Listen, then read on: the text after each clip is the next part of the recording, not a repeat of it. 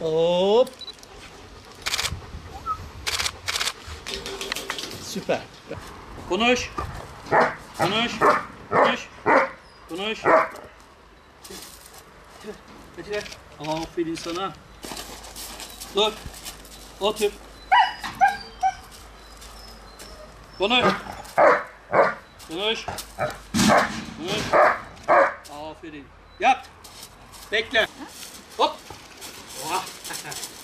Hop. Eh, Beliz. Hop. Beyza. Ah, ah. Oh. Peki hadi git. Git.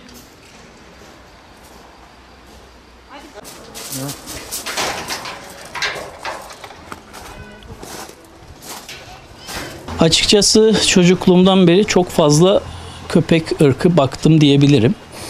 Ee, yani 10 yaşından beri köpeğim oldu hep mutlaka. Ama Doberman m, hepsinden çok daha farklı bir ırk. Zeka olarak, ön sezileri olarak, onun dışında e, bağlılığı, sahibine bağlılığı diğer ırklardan onu farklandıran özelliklerden biridir.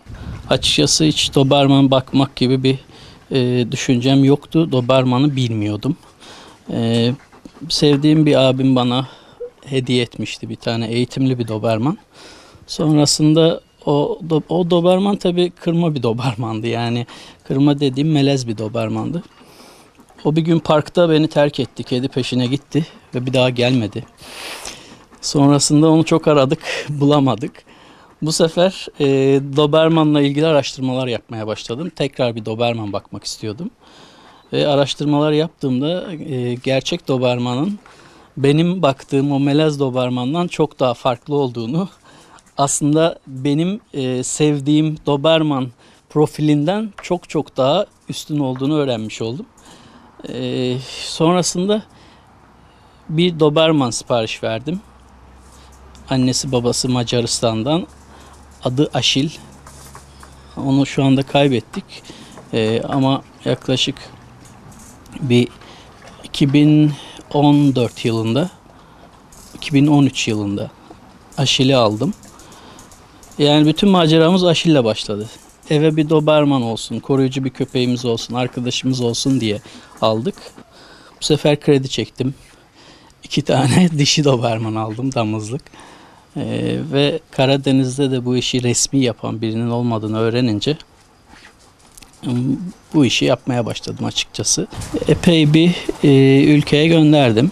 Birçok Avrupa ülkesine gönderdim. Ne bileyim Polonya, Finlandiya, Bulgari, Bulgaristan, Romanya, Fransa, Almanya. Yani Doberman'ın normalde memleketi Almanya'dır. Ve e, en çok Doberman gönderdiğim ülkelerden biri de Almanya'dır yine. Amerika'ya çok fazla gönderdim.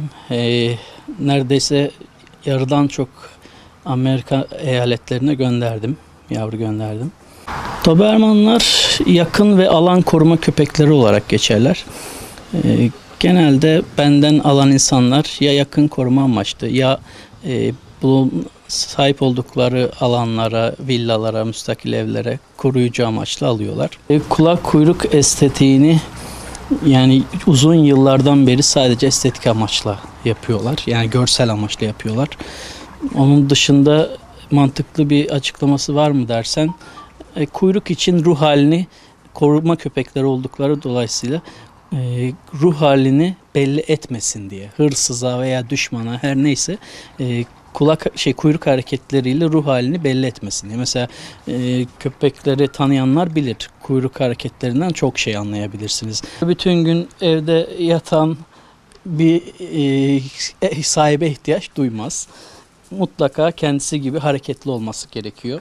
Günlük enerjisi atılmadığı takdirde ne olur? Mutsuz olur. Onun dışında enerjisini atmak için çeşitli yollara başvurabilir, sağa solu kemirebilir, havlayabilir, huzursuzluk yaratabilir. Ee, bir Doberman için en az 40 metrekarelik bir alana ihtiyaç var. Onun dışında günlük 2 saat kadar yoğun egzersiz yaptırmakta fayda var. Durum ayırt edebiliyorlar. Mesela diğer köpeklerden farklı olarak e, sahibi herhangi biriyle konuştuğunda sesini ne amaçla yükseltti karşı taraf, elini ne amaçla kaldırdı. Bunların hepsini, durumların hepsini ayırt edebiliyorlar. Gereksiz saldırganlığı yoktur. Toplumun yapması gereken şeyler vardır. Merdiven altı üretimleri desteklemeyin. Yani ben çok görüyorum internet üzerinden satış yapılanlar işte e, ne bileyim mama parasına köpek sahiplendirenler vesaire.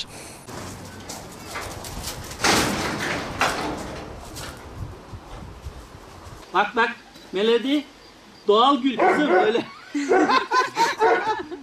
Sadece babaya bak Melody.